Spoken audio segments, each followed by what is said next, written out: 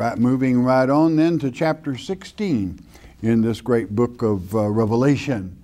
16, verse 1. And I heard a great voice out of the temple saying to the seven angels, Go your ways and pour out the vials of the wrath of God upon the earth.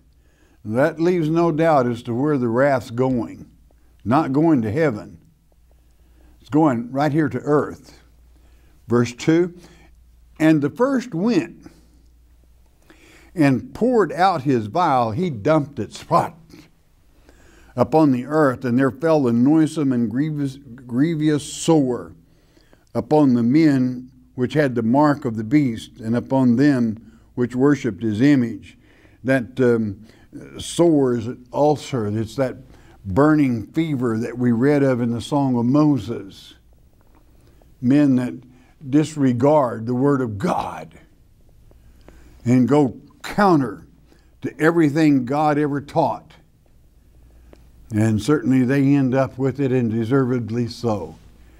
Verse 3 And the second poured out his vial upon the sea, and it became as the blood of a dead man. And every living soul died in the sea. It's, it's a little bit difficult for you to understand if you don't understand what the sea is here. And we're speaking spiritually. I want you to look at chapter 17 Look ahead, chapter 17, verse 15. I want you to know what the sea is, what the water is. It's important. It's the same water that the great harlot rides upon. God interprets this for you, so don't you mess with it. It needs no further interpretation. Listen to it. Verse 15 of chapter 17.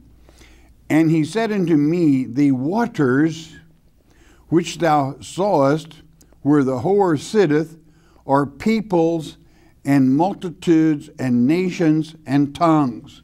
So, in other words, the waters or the sea are the people that he poured that uh, cup of wrath out upon. And I assure you that um, it would uh, it was turned to blood, I guess. Now back back up, if you would, to chapter 11 so that you know God, God makes these things real clear that you can understand. What did the two witnesses do when they appeared on earth? Chapter 11, verse 6. These, speaking of the two witnesses, have power to shut heaven, that it rain not in the days of their prophecy, and have power over waters. Don't forget what waters are, to turn them to blood and to smite the earth with all plagues as often as they will. And so it is. So we see that the God's elect have that trump card way before the fact. Because the witnesses come in 1,290 days, whereas Satan only has 42 months, 42 moons. A moon is only 29 and a half days, let's say.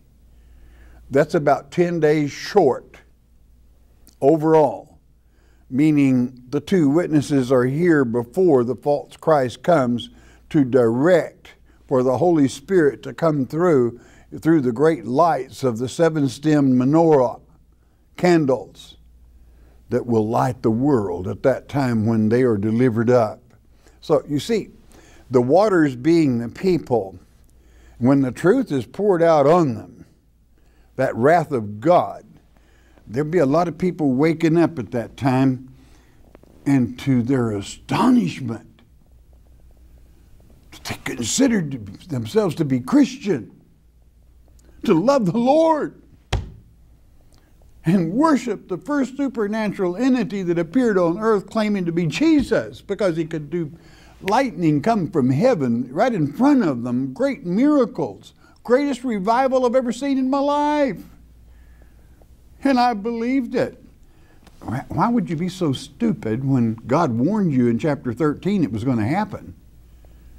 How could you be so stupid or, or forgetful when He warned you in Luke uh, 21, in Mark 13, and in Matthew 24 exactly all seven things that would transpire, detail by detail by detail? And, and when, when it finally happens, you're shocked and surprised. Well, I sit on that church pew and the preacher didn't say anything. Did you read God's Word with understanding? That's why He sent the letter to you. I'm not talking down to anyone and I'm not scolding anyone, but I love the brethren and I don't want you deceived. I want you to study God's Word to show yourself approved, rightly dividing the Word of God where God can use you rather than you have to be abused, misled, used by Satan because of ignorance. Our Father is so very good to us. Let's go with the next verse in chapter 16, 4. And the third angel poured out his vial upon the rivers and fountains of waters, and they became blood. Here, even the third poured, I mean, the people getting it one right after the other. Boom, boom, boom. Do you know something? There'll be a lot of them still wrestling with it. They won't even know what's happening. They'll just consider it hard times, things going bad. Why doesn't God help us? He sent you a letter telling you exactly what you should do to, pre- to prevent that. It's too bad you didn't read it. It's too bad you didn't study it so that you would know and be prepared and be under His wing where those things would have none effect on you whatsoever. But on you, quite the contrary, you would have the almighty blessings of the living God.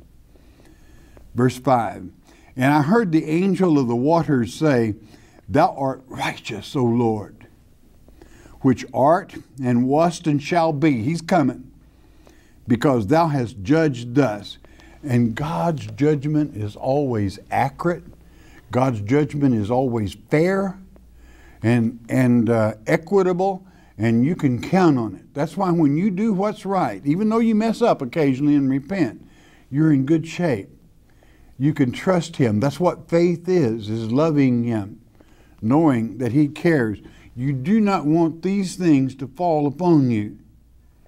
And there's no excuse for it when all you have to do is love Him and obey Him.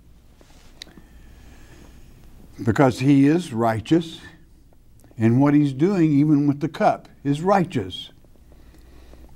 Verse 6 For they have shed the blood of saints and prophets, and thou hast given them blood to drink, for they are worthy. Now, who, who is this? Who has shed the blood of saints? Have you never, this is why he sent you this letter. Have you never read in Matthew chapter 23. Matthew chapter 23, uh, let's just take a moment and let's cover what he's talking about here.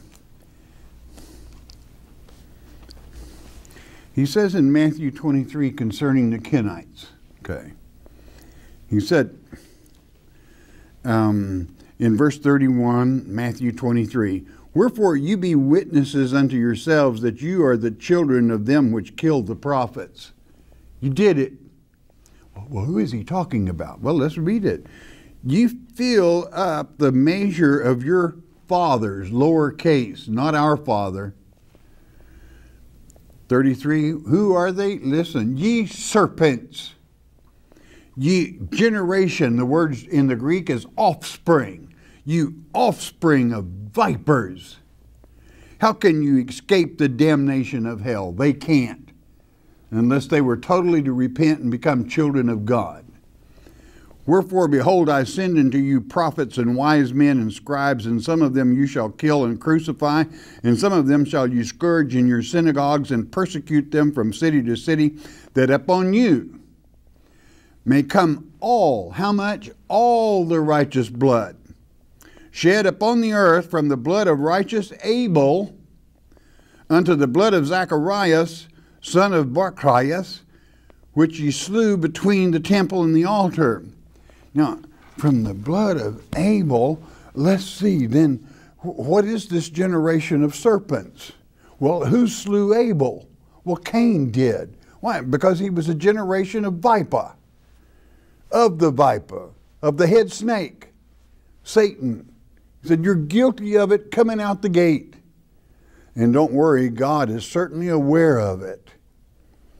And when, when they destroy those that God sent, God makes great mark of it, and this is where they get their comeuppance. If the tares do not change, their, their um, gift is certainly in the cup, and they will enjoy it to the fullest degree because God is a God of vengeance. He's jealous, and His wrath is ready, especially for those that led His children astray, those that would take advantage of a situation, and certainly the Kenites have. This is why our Father's Word is so important and yet at the same time so very simple if you ferret out, if you winnow it in the harvest of truth and absorb it as you harvest that truth from God's Word, that each piece falls in place, bringing the simplicity of Christ's teachings into the very buds of your mind, whereby you're not deceived. It's ever so important. Don't to the Shepherd's Chapel Network Family Bible Study Hour with Pastor Arnold Murray. Wisdom is understanding God's Word. Pastor Murray's unique teaching approach brings God's Word alive with meaning as he takes you on a chapter by chapter, verse by verse study of God's letter to you, the Bible.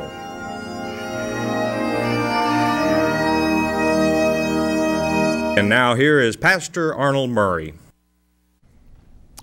Good day to you. God bless you. Say, welcome to the Shepherd's Chapel. Welcome to this family Bible study hour back in our Father's Word, book of Revelation, the unveiling, the uncovering, meaning God wanted you to know and understand what is written here. It has to do, you know, He does the book of uh, Revelation by numbers.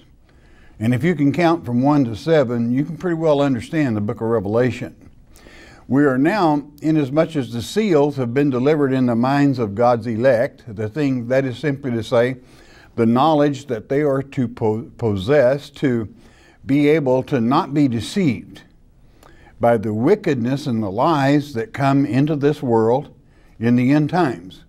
The trumps, of course, we covered all seven of those, and the seventh one is still kind of sounding.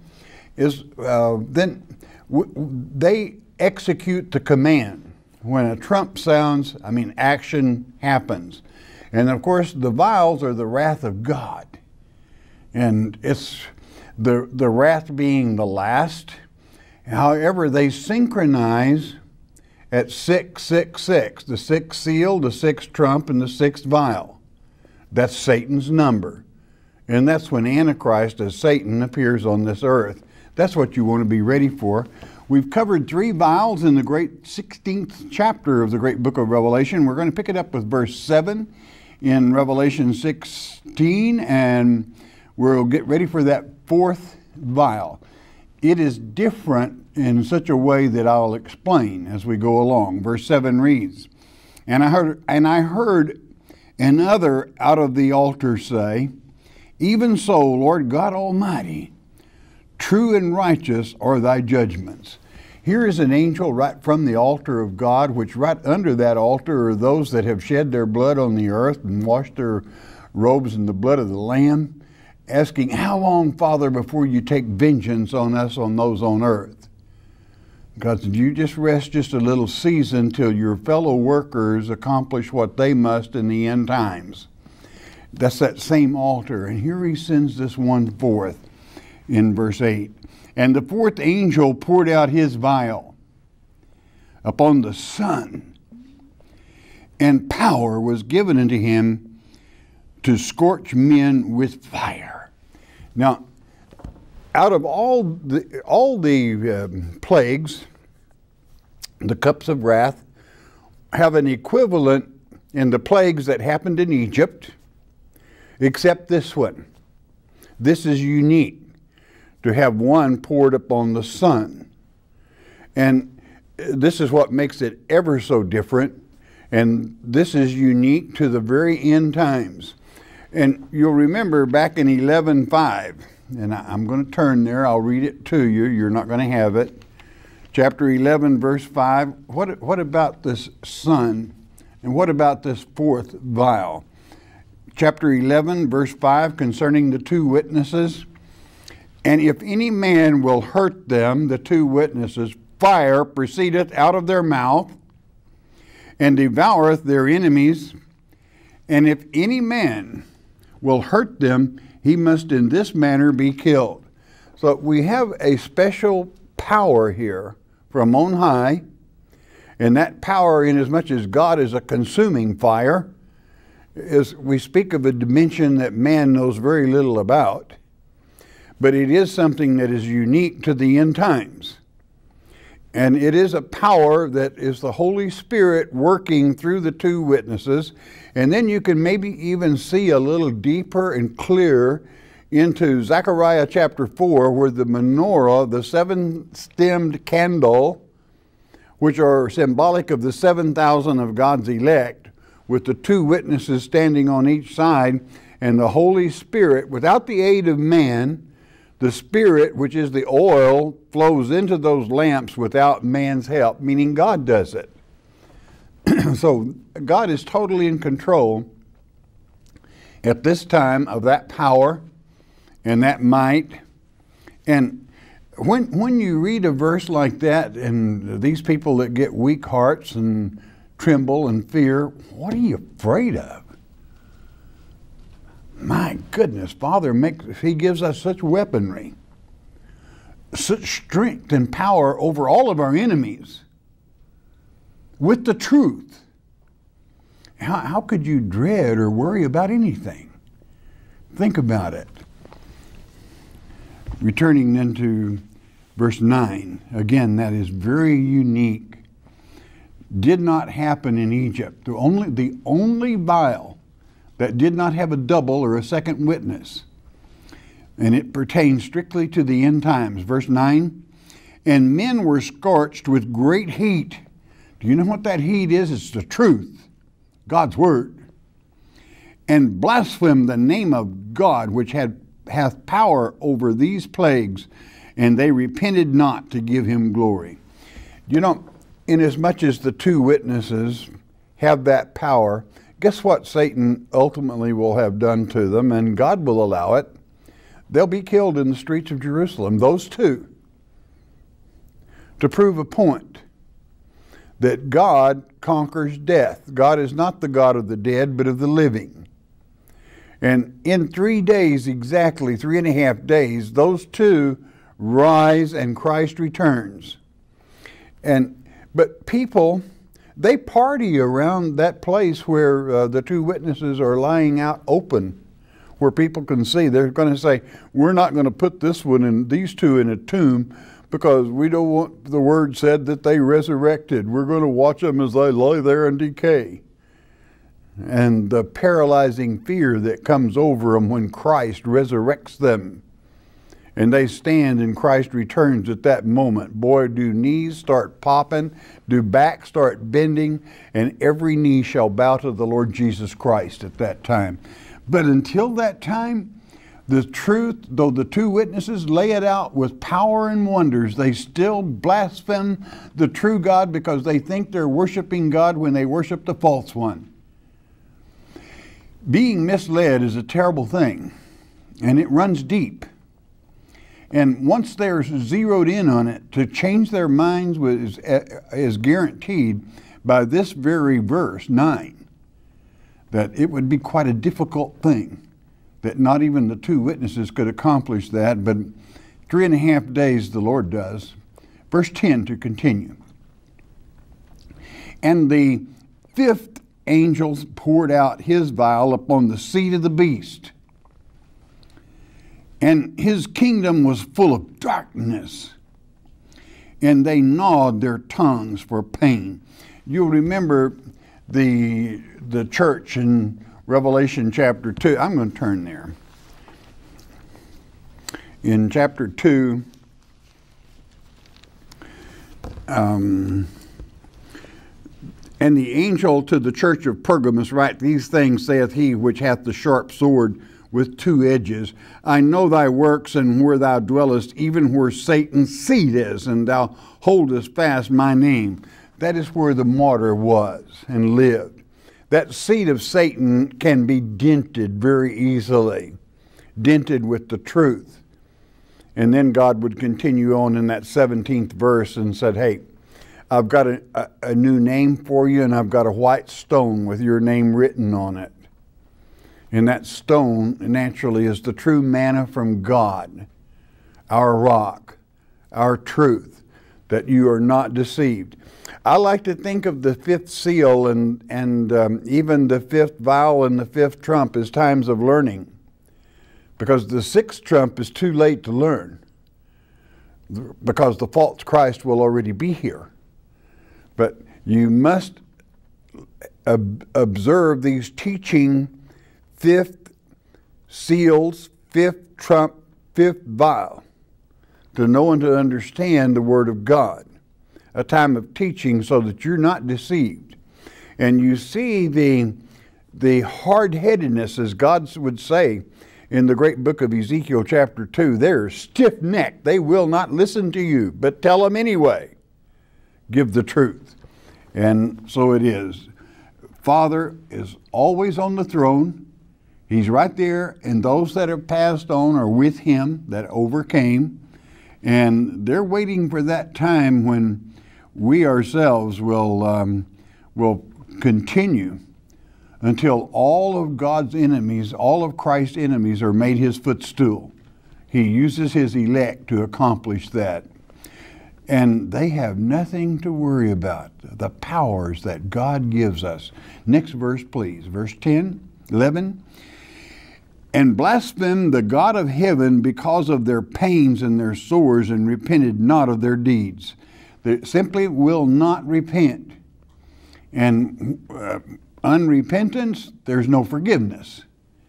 And if the whole world is whoring after him, you can then begin to understand why we need the millennium because of misguided, misdirected souls. Verse 12 And the sixth angel poured out his vial. Here comes Satan, here comes the Antichrist, his vial upon the great river Euphrates. And the water thereof was dried up that the way of the kings of the east might be prepared. Now, you want you want to watch this real carefully. The Hebrew is a little more specific. It says uh, the kings that come from from the uh, uh, rising morning, which that's where the sun comes up in the morning. These are not um, these are not necessarily men of the earth. This is the can be the very ten kings that Satan brings with him. And who is this son of the morning? None other than Satan himself. And what is the Euphrates? The Euphrates is the river that runs between Israel and Babylon, between truth and confusion. Which side do you want to be on? It is dried up, meaning there's no room anymore for confusion and the waters are simply the people. And when the truth hits them, they've got nowhere to stand.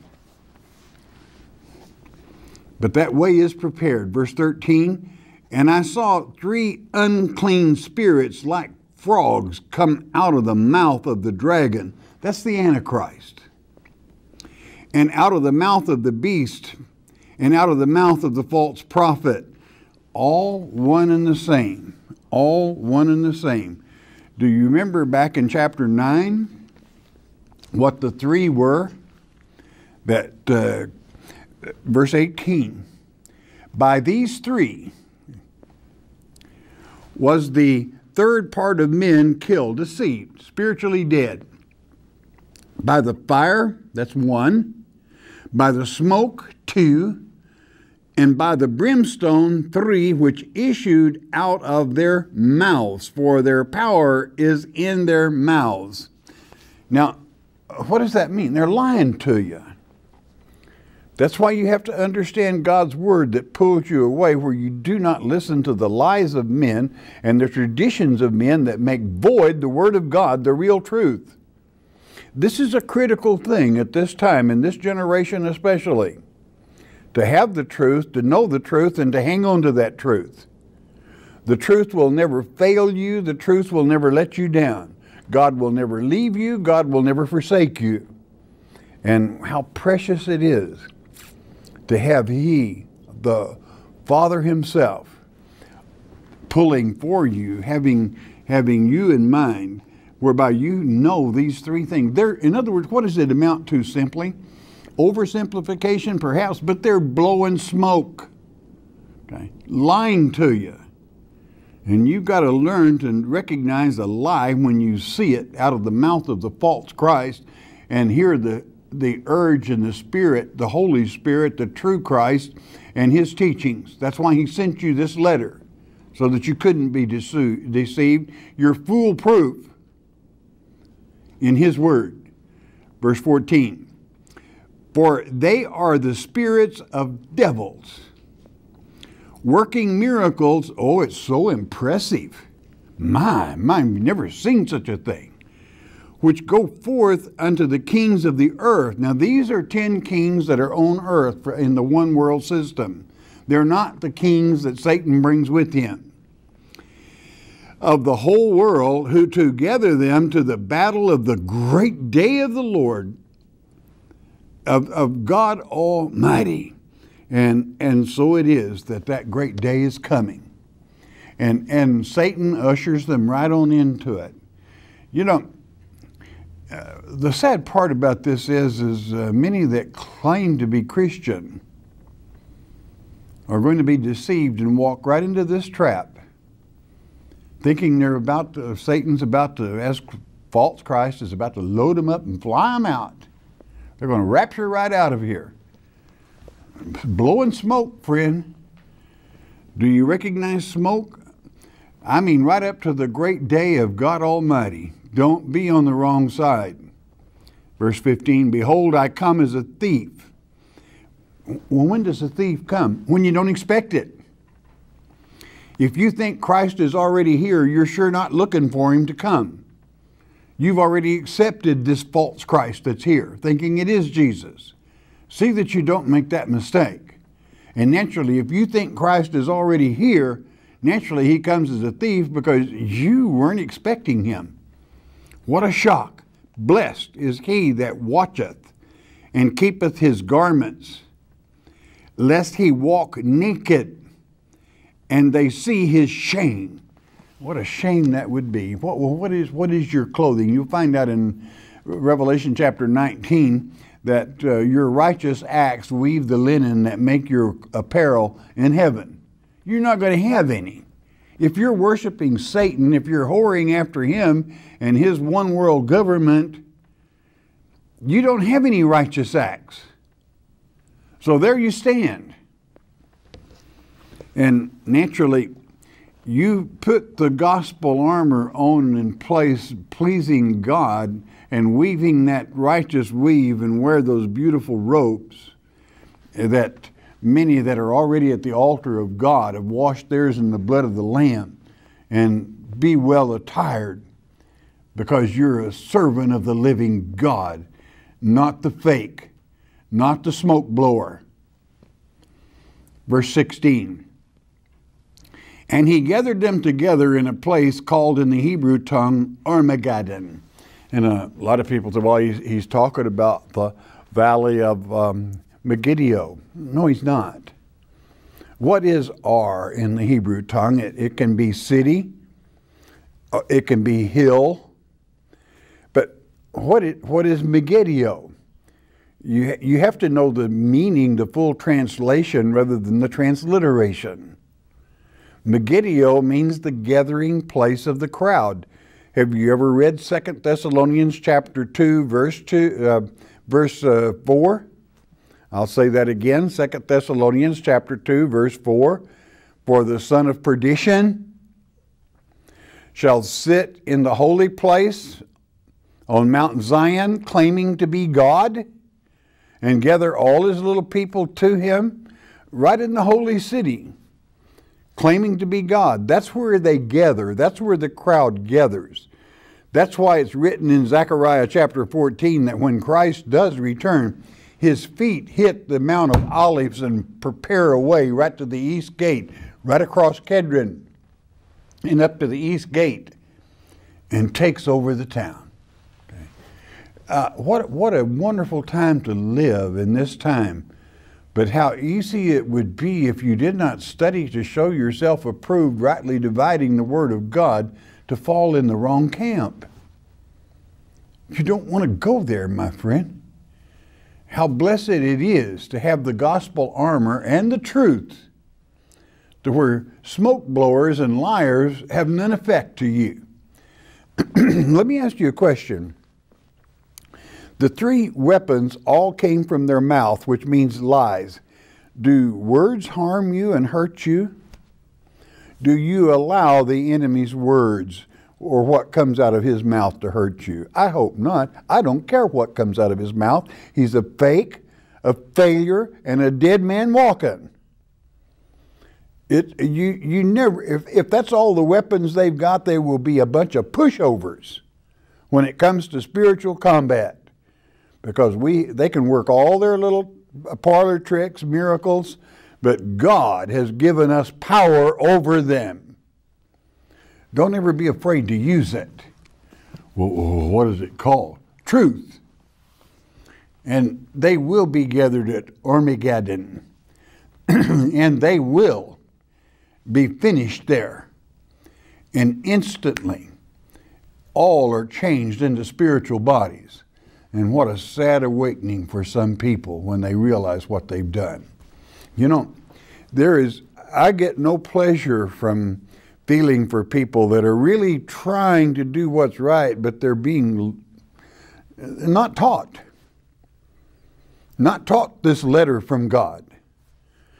I mean, really trying to be a Christian. And then to wake up that day and find out they had loved Satan, had, had made contracts with Satan. You know, there's nothing worse a Christian can do than to, to fall in love with the wrong Messiah and miss the wedding. Because only virgins, spiritually speaking, will take part in that wedding. If you're deceived, you're out. You're not going to take part in it. You're, if, if you even succeed at all, it will be a thousand years later in the second resurrection. So that's why this is ever, ever so very important at this time, is to know the truth and to teach the truth so we can save out of the fire as many people as we can, giving them unction and knowledge to know the false Christ comes first and his message is, I'm going to rapture you out of here. You want to be real careful. Satan is why this is why Jesus would teach in, in this a real set of manuscripts, a real set of King James, not one of these later versions that the Kenites have changed it'll say in Ezekiel chapter 13, I'm against those that teach my children to fly to save their souls. And I'll wrench them back from their hands. Not to salvation, but to correct. Tough love. That's what the millennium is. And what a thousand year period it will be. So Armageddon is coming. You can, you can rest assured that it will. And you know, um, you want to set it in your mind what deceives many people. Satan knows that if he can make people think that the world is going to be a holocaust, the end of it, disruption, then you better know how Antichrist comes in. As it's written in the eighth chapter of Daniel, he com- comes in prosperously and peacefully. As it's written in Daniel chapter 11, verse 22 and 3, he comes in prosperously, he comes in peacefully, not war. Lovey, lovey, lovey, revival, revival, revival. Bring your brother, bring your children. Let's convert them. Let's convert them to the hell-bound wagon of rapture right out of here. Make sure you don't get on board, my friend, because God sent you this letter warning you, and so that you would not be deceived, that you would re remain true and faithful to the living God, weaving that righteous, those righteous acts in linen to be a teacher with Christ in the millennium that could help others even then, as it is written in this great book of Revelation, as well as the closing chapters of Ezekiel, which have to do with the millennium. Verse 17 here it comes. And the seventh angel poured out his vial into the air. And there came a great voice out of the temple of heaven from the throne saying, It is done. And certainly it is. That's when Christ returns. Do you know, do you know how long it's going to take our Heavenly Father to get things back under control? 10 minutes, five probably at the most. There'll be a little shaking around, a little earthquake. Well, how long does an earthquake last? Eh, nanoseconds. Usually never over a minute. God has a way of getting people's attention real quick. So you, you want to be prepared for that also. Do I have to worry about that? No, you don't. He's not angry at you. None of these cups of wrath are poured out on those he loves. God does not punish those he loves, he embraces them, he protects them. And you might say, well, inasmuch as the very unique vial, which is from the sun, fire, least of all, God wanted you not to be afraid of Him, which who is a consuming fire. So He would, in the book of Daniel, give you the Hebrew children, Shadrach, Meshach, and Abednego. He would put them in a furnace heated seven times hotter than necessary, throwing in. And there Nebuchadnezzar saw, he said, How many men did we throw in there? I see four. I see those three, and I see the Son of God walking with them. Their clothes weren't even singed, their hair was not singed. Because in that dimension, God takes care of His own and they're not hurt. So you have nothing to fear. You can be right in the middle of this. God's wrath is not at you, it's at the enemy and those that would be deceived by it. So that great voice from the very throne itself, it is done. Verse 18. And there were voices and thunders and lightnings, and there was a great earthquake such as was not since men were upon the earth. To be a pretty tough one. So mighty an earthquake and so great. Verse 19. And the great city was divided into three parts, and the cities of the nations fell. And great Babylon came in remembrance before God to give unto her the cup of his wine of the furiousness of his wrath. This is the cup Jesus prayed that could pass from him. That, Father, is there some other way that we can do this without pouring this cup out on them? Why? It's going to hurt. This is that moment of truth when they realize they've been had. Now, many might say, well, aren't a lot of people going to be, how could you possibly be right in the middle of a hailstorm of 180 pounds apiece, 110 to 180, according to which manuscript you wish to go by, without being hurt? Well, what happens at the seventh trump? I hope I've taught you well. What happens the instant the seventh trump sounds? You've read it, you've covered it in 1 Corinthians chapter 15, verses 51 and 52. In an instant, in the wink of an eye, at the seventh trump, all are changed into spiritual bodies. It has no effect on earthquakes, hailstones, or anything else when you're changed into that beautiful spiritual body of our Heavenly Father.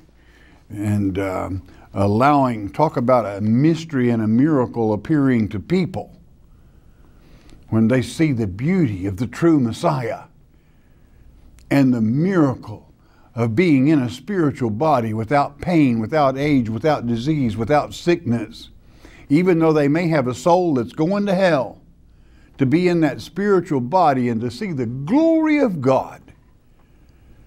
And know they it's not theirs. They've still, though they have placed on a spiritual body, their soul is still mortal, which in the Greek tongue means liable to die.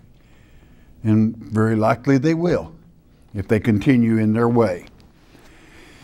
Verse 20 And every island fled away, and the mountains were not found. I mean, it's a good shaking. Mountains are nations. You're not going to have another nation because you know why? No nations all the way around, no one world system. Why? Because we have one king and one Lord. And he is King of kings and Lord of lords, period. That's it. 21.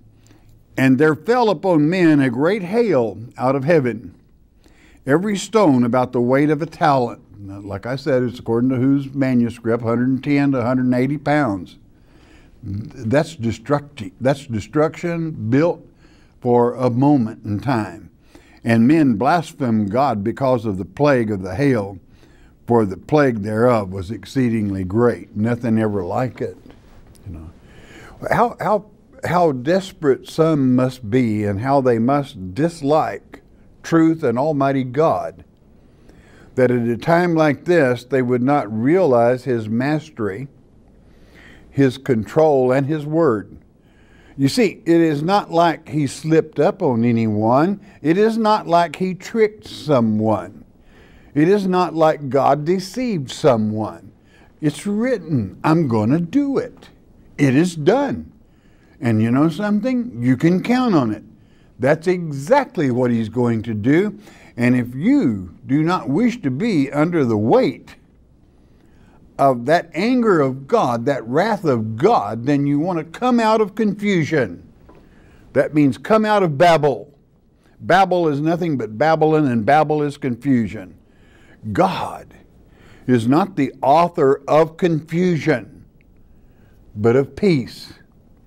And you will find that peace of mind when you stay in His Word and when you live His Word, bear His Word, and join in to those that have the victory over the beast, over his number, over his name, singing the song of Moses, whereby you are not deceived and have preeminence over all the wickedness of this world, loving our Heavenly Father, being pleased with His countenance, and, and uh, seeing that God does on that day of vengeance. He takes control. And in that day of vengeance, avenges his children on the wickedness of this world. Now, next chapter is a very important chapter. Don't miss the next lecture. God Himself interprets many things in the next chapter. And when God interprets something, don't you let man touch it. It needs no further interpretation. When God says a thing means a certain thing, you'd better accept it, for it's your Father speaking. Don't miss the next lecture, chapter 17. All right, bless your heart. You listen a moment, won't you please? The Mark of the Beast on CD is our free introductory offer to you. What is the Mark of the Beast? Many false teachers would have you believe it will be a tattoo on your forehead or a computer chip implanted under your skin. It is getting late in the game. You need to know what the mark of the beast is. As it's written in Revelation chapter 13 verse 8, many will be deceived. There is no need for you to be deceived. Christ said in Mark 13, 23, Behold, I have foretold you all things. Jesus indeed told us how not to be deceived, and Pastor Arnold Murray takes you on a step by step study of God's Word concerning this critical subject, the mark of the beast. The telephone call is free, the CD is free. We don't even ask for the shipping and handling, it is free as well. All you need to do is call 800 643 4645 to request your one time, one per household copy of the Mark of the Beast. You may also request your free CD by mailing your request to Shepherd's Chapel. Post Office Box 416, Gravette, Arkansas 72736. Don't be deceived by Satan. And there we are, back again. Let's have the 800 number, please. 1 800 643 4645. Hey, that number is good from Puerto Rico, throughout the U.S., Alaska, Hawaii, all over Canada. If the Spirit moves, you got a question, you share it. Once you do that, please never ask a question pertaining to a certain reverend, denomination, or organization. We do not judge people. God is judge, He doesn't need your help. And um, in that, um, we appreciate him, love him for that. Uh, it is your right to discern spiritually who you should fellowship with, who you should study with, and so forth. That's a beautiful gift from God, is spiritual discernment, to know a wicked spirit when you see one. That's a gift from God. Those of you that listen by shortwave around the world, um, it's uh, the, your announcer at the end of the hour will give you our mailing address. Always a pleasure. Now, a prayer request, you don't need the number or the address. Why? God knows what you're thinking. You're unique. Your DNA is different than anyone else. Why? God wanted someone just like you. I have no idea why in the world He would want someone like you, but He's got you, okay? And, and loves you. So let Him know that you love Him in return. Once you do that, He wanted you to love Him. He created you for His pleasure so see that you give him pleasure by returning his love. And um, we, we thank him for that. All right, let's go to his throne, Father. Around the globe we come. We ask that you lead, guide, direct, Father, touch in Yeshua's precious name. Thank you, Father. Amen. Okay, and question time. We're going to go with Louise from Georgia. You said in your lecture on Revelation 11:3 that the two witnesses would be here on earth 10 days before Satan arrives. Did I understand you correctly? If so, is there scripture to tell us the witness's time of arrival? No, there isn't. The reason, let me explain. The reason God gives Satan's prophecies always in moons. That's night. And, and a moon is not a full month. A moon is only about 29 and a half days, I'll say, just give or take. Whereas a solar is 30 days, so it falls short. So Satan only has, according to Revelation chapter 13, verse 4, 42 moons. Whereas the two witnesses have 1,290 days. And in 90 days, that would give you a full branch of 30 day periods, which would be almost 10 days longer. But when we shorten that down to five months, it wouldn't quite be 10 days, but they're still here first. God always takes care of his own. Uh, Marjorie from Kansas, in your opinion, do you think preachers like this uh, know the truth? Um, and you're speaking, let me see who you're speaking about. Um, okay, one verse revolving revs, that's what you're talking about. But don't teach it because most people don't want to hear it. And will they have to answer at judgment? This preacher said many times he wanted to sit at the right hand of God. Well, that place is already taken, unfortunately, at the right hand of God. That's Christ's seat. So I'm afraid he's thinking pretty tall. Um, I, I don't judge people, and I, I you know, but I, I'm glad that God brought you out. Come out of confusion. Listen to the God's word, chapter by chapter and verse by verse. Um, God, judgment begins at the pulpit, so naturally preachers are going to be judged first. And if one truly knew the truth, and refused to teach it, I would really hate to be in his shoes. Uh, if they are ignorant of it, then God kind of winks at ignorance in a sense. But um, uh, if they know better, that's a different story. Wayne from Georgia. In Genesis chapter 6, verses 2 through 6, when he says sons of God, I have been told he was actually talking about the daughters of Cain. Is this correct? Please explain. No, it is not. Okay. The sons of God are fallen angels, Nephilim. And the daughters that are spoken of are the daughters of Adam, Eth Ha'adam in the Hebrew tongue.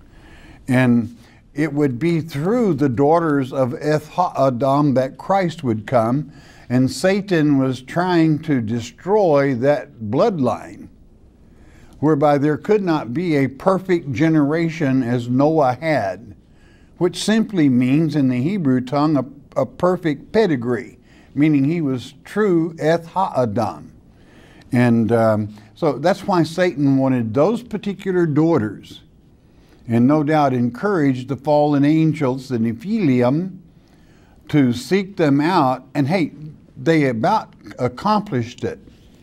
Because when you read in that Genesis 6, Noah is the only family that he, his wife, his three sons, and their three wives were still perfect. That is to say, had not intermixed with the, with the um, sons of God, that is to say, the hybrids, producing hybrids, Geber. Okay, Tony from Virginia. Were dinosaurs on the ark? No, no, no. Dinosaurs were extinct long before the ark came to be. Okay, they were destroyed, many of them long even before the katabole, which was approximately 14,000 years ago. Brenda from North Carolina. Does Arnold believe in the Holy Trinity? I teach the Word of God, the Father, the Son, and the Holy Spirit over and over and over and over. I don't know why people like to listen to fruitcakes on internets, okay, that would say, you know, and anybody would be pretty stupid if they heard me teach chapter by chapter and verse by verse and, and uh, not think that I believed in the Father, the Son, and the Holy Spirit. That would, that'd be a stretch, wouldn't it? But then idiots like to play games, so be that as it may. Tammy from Ohio. When we pass away, what are we doing? What are the people on the bad side of the Gulf and the people on the good side of the Gulf? What, what, well, what, what are they doing? Well, they're, they're waiting. They have no choice. The ones on the good side are rejoicing. Jesus kind of told you that because immediately uh, Lazarus was in, in, the bosom or uh, embracing Abraham and uh, happiness was there. Where on the other side, boy, they were in pain. Why? They didn't make it, and they knew it.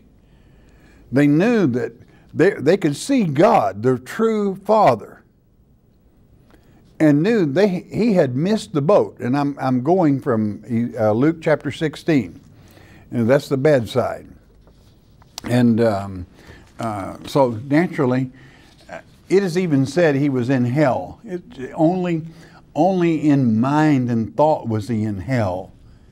It's hell when you know you're going to hell. But then there's good news even with that. It is possible that in the millennium, people will have an opportunity to learn the truth, and the truth will set them free if they stick with it and love the Father. David from Illinois, that's not a second chance because because of what is taught in the world today, there's a lot of people that don't have a prayer of a chance. David from Illinois, is the soul and the spirit the same? No, they're not. Your soul, I like to translate it as yourself, regardless of which body you're in, it is your very being. Your spirit is your intellect, it's your thought process just as God has a Holy Spirit, Satan has a wicked spirit. And just as any man or woman or child has a spirit, I choose to use my spirit to put out into the ether waves to try to teach people the straight path to the throne of God. Now, many men can take that same spirit, their spirit, and use it to beguile people or to mislead people. But so, therefore, you have to spiritually discern. That's why I said earlier that spiritual discernment is a gift from God to spot a spirit you don't want anything to do with before it affects you. It is nothing that man must be afraid of. But to answer your question, your spirit is your intellect, your soul is yourself, regardless of whether you're in flesh body or spiritual body. Uh, Valerie from Georgia. Where should I where should I find a Bible verse that will help me make the best of a job and a manager that I don't like? How should I pray for a good job? I am thankful I have one. Well, that's that's good, and thank the Father for it. Um, and I'm, i want to give you 1 Corinthians chapter 10, verse 13. Read it real good and real slow. 1 Corinthians 10, 13. And um, he's, uh, he's paying your salary and you're thankful for that job. Uh, I know you know your rights, maintain them, but at the same time, be a good employee and your reputation will precede you and you'll find a better job somewhere else. How do you pray for it? God is so natural, He's supernatural. Talk to Him. It's just like this. If you want to pray for a new job, say, Father, I want a new job. It's a little pressure here. Or you might ask Him at the same time to soften your present boss a little bit, whereby you could get along with him a little better. Pray, tell Him, just talk to Him. That's it.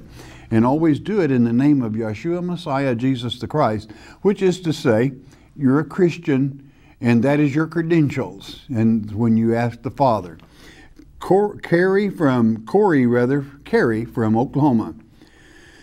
Since we know that Satan comes first and that he, Satan, is a cheap imitation of Christ, will Satan have a John the Baptist, so to speak, preparing the way for the Antichrist? And would it be political and financial? Thank you and, and all your staff. You are so welcome the impostor can use any method he chooses. He will use all four of the hidden dynasties, and you've only mentioned two of them. He will use education, he, he will use um, financial, he will use political, and last but not least, he will use religion. So, therefore, um, anything that works for him, he will use. And is there an imitation? He always prepares the way. Satan is very shrewd, he's very sharp. If Satan knows that Elijah must come before the true Father returns, uh, then he'll see to that also. But that also would be a fraud. Jay from Georgia, uh, greetings and greetings return. Please tell me where the name Jehovah is in the Holy Bible because I cannot find it. Well, you can't find it because it's not there. Okay, it you have um, the his our father's name in the manuscripts is Yahweh. Okay, it it is uh, that is the Hebrew pronunciation. It comes from the etymology of the statement "I am that I am," Hebrew "Iya Asha Iya," and and um, within that is that sacred name. There are no J's in the Hebrew alphabet. Therefore, you cannot derive uh, that particular name from the manuscript. God uses other titles such as um, Yahweh Joreh, that is God that provides. Uh, he has several titles, and and uh, he stands by each of them. And there are manuscripts that um, refer to him by certain titles as El, E-L, that, that is the word God. And there is Adonai, and, uh, and on it goes. So, but never, um, never will you find it Jehovah. It's not scriptural. But, you know, that's what some people teach, and so it is. I would never judge them. Caroline from North Carolina. Someone wrote in to be absent from the body is to be present with the Lord. Then who are the spirits that are lingering? Um, I'm curious to hear your answer. Well, they're, the spirits that linger can be good or bad. Okay. The Holy, for every negative, there is a positive. You have Satan's evil spirit, but at the same time, you have Christ's Holy, God's Holy Spirit. And uh, that's why you want to always choose that that is from the Father, the true Father. And you do not need the lingering spirits of anything else. They are out there, and you do not have to be afraid of them because God has given us power over them. Luke 10, verses 19 through about 24, 23. So you have nothing to worry about. We have that power, but well, how do we derive it? In His name. When, when you order a negative spirit out of your life in the name of Jesus Christ, it has no choice other than to depart. Uh, Don from California, I thought I heard you say on Friday the 19th, Christ comes three and a half years after Antichrist. Is this the three and a half years that will be shortened to five months?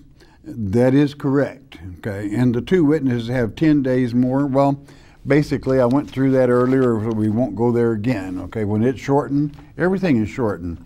But, but the formula still stays, stays the same. If you really want to be specific, then uh, understand exactly how long a moon is, even down to the hour, and figure it from that. And uh, uh, versus deus, we are children of light. We always go by a solar calendar.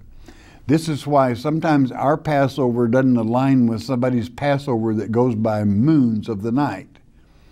Because we count the new year at the spring equinox and um, exactly the, and 14 days later. Rick from West Virginia. I was at a church service. It was said that these were two spirits, the Holy Ghost, which is of Christ, known as the Comforter. Then there is the Holy Spirit, which is the Spirit of God. Doesn't this destroy the Godhead? Nobody destroys the Godhead. Okay. Rick, uh, what would you do with the name then? What would you do with the scripture? Isaiah chapter 7, verse 14. What does it say? A virgin shall conceive and will bear a son, and you shall call him Emmanuel, which is to say, God with us. Now, if Jesus would teach, if you have seen me, you've seen the Father, and if God would say, coming out the gate in Genesis, let us create man in our image, including himself. God saying, In my image will I create him being Savior. So if you've seen the Son, you've seen the Father, and you do not have two spirits, it's the same Spirit. Nobody will ever destroy the Godhead. Uh, Claudette from South Carolina. Were the Ten Commandments written for today's Christians? Absolutely. But you want to go by what Christ said about it? What did Christ say in Matthew? He said, I don't change one jot or tittle, iota in the Greek, tittle in the Hebrew, meaning a dot that will make the difference in the sound of the letter A from A to A. I don't even change the sound of one letter. But I came to fulfill it. So um, some of them he fulfilled. He did away with the statutes of blood ordinances because his blood was shed one time only for any and ever and all. Regarding the fourth commandment, when should we observe the Sabbath? Have you never read 1 Corinthians chapter 5, verses 6 and 7? That Christ became our Passover, which is our high Sabbath, that Christ is our Sabbath, and you had better Sabbath every day. Hebrews chapter 4 will let you know that Christ became our Sabbath, not some day of the week. You worship every day of the week. Um, Charlotte, Miss Charlotte from, um, Mrs. Charlotte from, trying to see from where here. Don't know. Pastor Murray, love your program. Glad you do. I want to ask a question. I am a born again Christian. You're a born from above Christian.